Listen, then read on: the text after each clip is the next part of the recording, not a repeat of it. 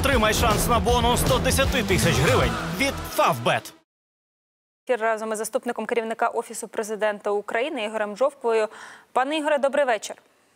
Добрий вечір. Сьогодні у нас головна тема це звіт Єврокомісії, в якому е, комісія рекомендує розпочати переговори про вступ України до єС. Як ви оцінюєте цей документ?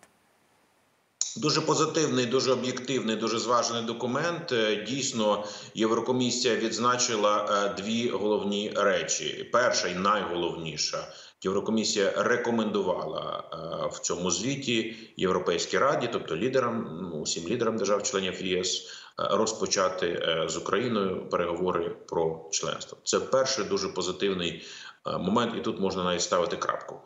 Але е, ми можемо продовжувати аналізувати. Ми будемо аналізувати цей документ. Друга важлива річ в цьому документі, що оцінено прогрес України в усіх семи рекомендаціях, які Європейська комісія надавала нам в червні, коли ми отримували статус кандидата. В усіх семи рекомендаціях.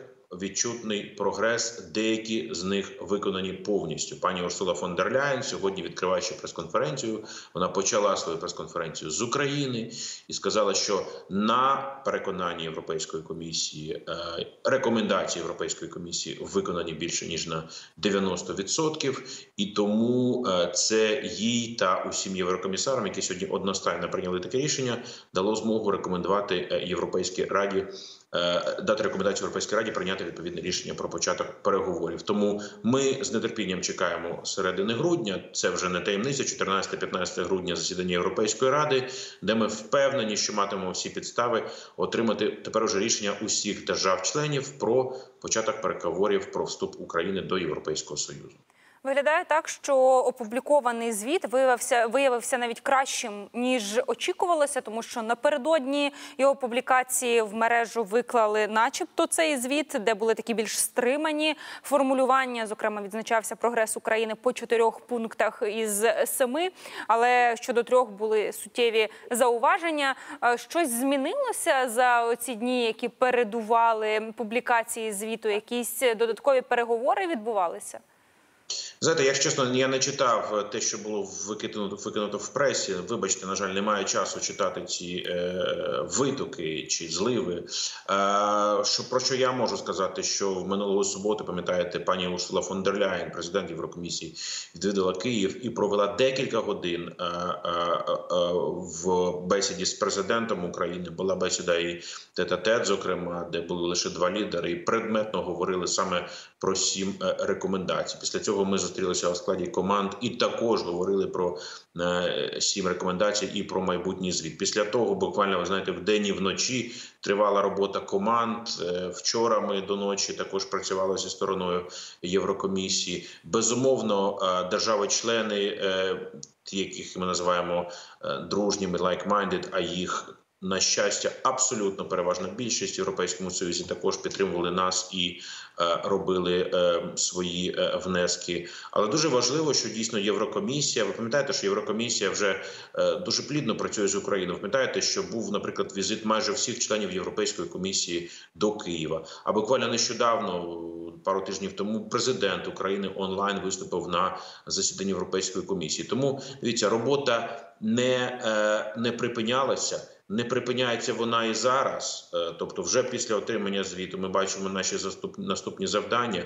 Президент України продовжує то в мене контакти і з президенткою фон дер Ляєн, і з паном президентом Шарлем Мішелем. Бо тепер Європейська рада буде скликатися саме під керівництвом пана е, Шарля Мішеля. Безумовно, майже кожного дня президент України проводитиме переговори з лідерами держав-членів ЄС. І так, одним з найважливіших питань поряд зброєю, поряд з фінансової підтримки, буде питання позитивного рішення е, у грудні. Я думаю, що дуже вагому цеглинку цього позитивного рішення нинішнім звітом сьогоднішнім вже закладено.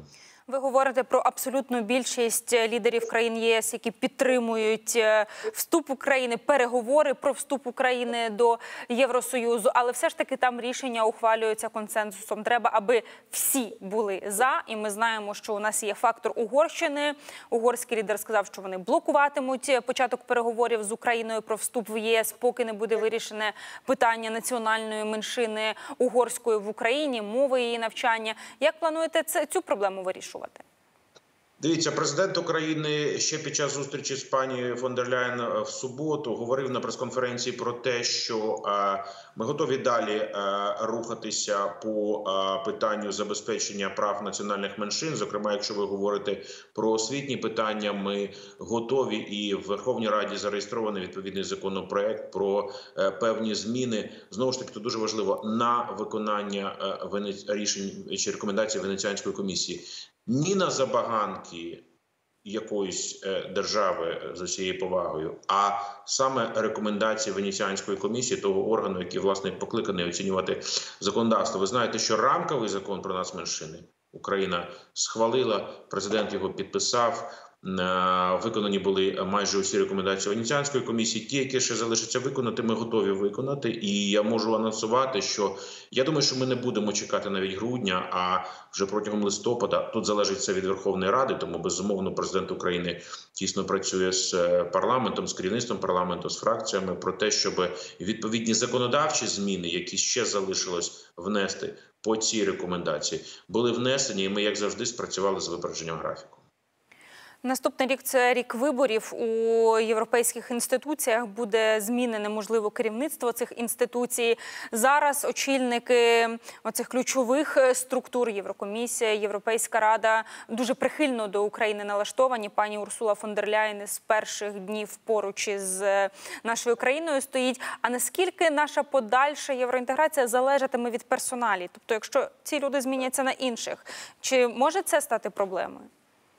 Я не думаю, що це стане проблемою. А зараз просто немає сенсу навіть спекулювати, умовно кажучи, хто стане наступним президентом Європейської ради чи президентом Європейської комісії. Адже спершу е, в Європейському Союзі відбудуться вибори до Європарламенту, тобто всі країни-члени ЄС вибиратимуть своїх представників до європейського парламенту. І от в залежності від того, е, яка фракція, як представники якої групи партії здобудуть перемогу, вибори відбуватимуться протягом 6-9 червня наступного року.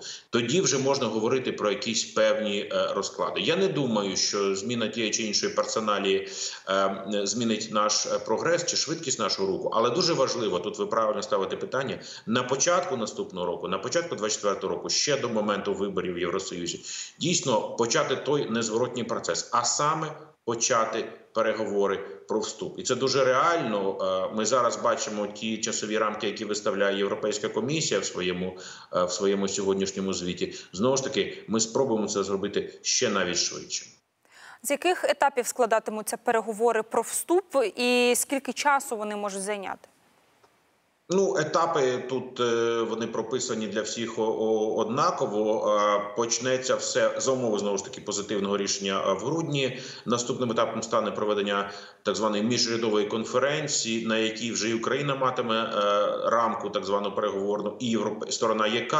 Тобто почнеться міжурядова е, конференція, так звана, що фактично означає е, відкриття е, переговорів. А далі, виходячи з того, що угода про приєднання до ЄС має 35 глав. 35 глав, які покривають усі е, сектори е, економіки, е, будь то аграрка, фінанси, IT, е, усі сфери. І от е, е, почнуть відкриватися так звані переговорні глави. Вони можуть відкриватися декілька одночасно. Відповідно, е, буде загальна делегація з е, головним переговірником від України, і так само будуть окремі делегації по 30, по кожній з 35 глав. Зараз немає сенсу е, спекулювати на тому, коли закінчаться переговори, чи скільки часу буде на ці переговори. Кожна країна, кожна з 20 Ну, не семи країн, бо були держави-засновники, але кожна з тих країн, які приєднувалися, давайте так скажемо, протягом 90-х років минулого століття, в цьому столітті, вони проходили свій різний шлях. До уваги бралися різні обставини. Безумовно, потрібно майстерно провести переговори і з захистом національних інтересів держави, але на це впливають геополітичні обставини на вступ кожної держави. Україна вступатиме в ЄС зовсім за інших геополітичних умов, ніж вступали наші найближчі сусіди: Польща, ем, Словаччина, Угорщина, держави Балтії. Наприклад, це буде зовсім інша геополітична ситуація. Це буде точно ситуація нашої перемоги, і це також додасть додаткового імпульсу. Який план дій України в питанні євроінтеграції на найближчий час? Тому що насправді ж не тільки цими сімома критеріями обмежується перелік наших завдань. Ви правильно ставите питання, тому сьогодні, зустрічаючись з пані послом Європейської комісії, отримавши від неї е, власне е, оцей репорт, так скажемо, вже на папері, президент паралельно підписав указ про невідкладні найближчі заходи щодо підготовки е, і до е, рішення щодо переговорів про вступ, щоб щоб ми виконали все, що нам ще доведеться виконати, і власне про початок переговорів про вступ. Наприклад, я вам дам один приклад. Європейська сторона, європейська комісія має зробити так званий скринінг е, національного законодавства України. Тобто, увесь цей масив законів, який був прийнятий Україною за часи незалежності, наскільки він відповідає праву ЄС. І що ще потрібно зробити? Оцей процес скринінгу дуже важливий, і нам треба розпочати вже його сьогодні. Ми ставимо питання перед європейською комісією не чекати рішення в грудні, не чекати початку формального переговорів, провести цей скринінг. Отут президент дав е, відповідні доручення і уряду України, і всім причетним інституціям. Так само і низка інших важливих заходів. Можливо, потрібно ще більше посилити координацію органів державної влади е, щодо е, процесу підготовки до вступу і власне початку переговорів. Уряд також має внести свої пропозиції. Тому низка конкретних заходів, ви знаєте, без зайвого пафосу, без зайвої якоїсь е, ейфорії. Ми продовжимо працювати. Е, Найважливіші рішення ще попереду. Так, це довга методична робота. Які основні проблеми в її межах е, ви думаєте? від керівництва Євросоюзу. Це те, що Україна точно буде в Європейському Союзі. Це вже не виникає ні в кого сумніву. Навіть в тих країнах, про які ви так побіжно згадуєте, ну жоден з лідерів, чи жоден лідер, е, чи той лідер, про якого ми з вами згадували, не говорить про те, що Україна не має. Права бути в ЄС чи не може бути в ЄС. Вони всі відходять виходять з цієї думки, що вона точно буде в ЄС. Дивіться, це до речі, абсолютно відмінна ситуація від минулого року, коли ми говорили про статус кандидата, і тоді не всі лідери були переконані, навіть менше ніж за місяць до отримання такого статусу. На сьогодні ситуація зовсім інша. В нас немає противників членства України в ЄС.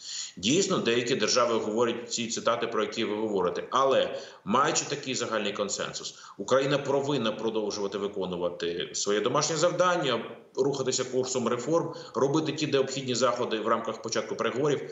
Продовжувати нашу економіку інтегрувати до єдиного ринку ЄС, але адже нічого нам не заважає, ще не будучи членом е, ЄС, мати, наприклад, інтегровану систему електроенергетики. Ми це зробили на початку війни. Інтегрували нашу електроенергетику повністю до системи електроенергетики Європейського Союзу. І зараз можемо вільно обмінюватися електроенергією. Коли нам потрібно, ми беремо від них. Коли в них в нас є надлишок, ми даємо їм. Так само IT, так само інші сфери. Тобто, ми рухаємося декількома паралельними курсами до вступу в Європейський Союз і будемо далі це робити.